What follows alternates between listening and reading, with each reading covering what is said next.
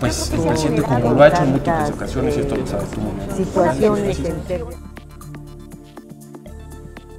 A ver, Lázaro Cárdenas hace en el 38 en contra de Plutarco Elías Calles, que él tenía el control con Morones. Utiliza y divide el apartado B, eh, la Ley Federal del Trabajo en A y B.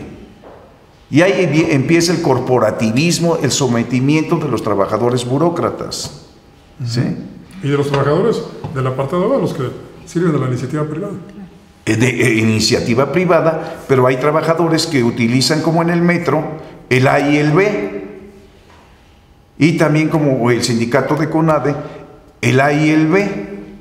¿Sí? Donde ya tienen derecho a huelga, pero se rigen sobre las prestaciones que les presta el Estado y manejan los servicios médicos, la- las pensiones y jubilaciones, utilizan los dos lo mejor que les convenga.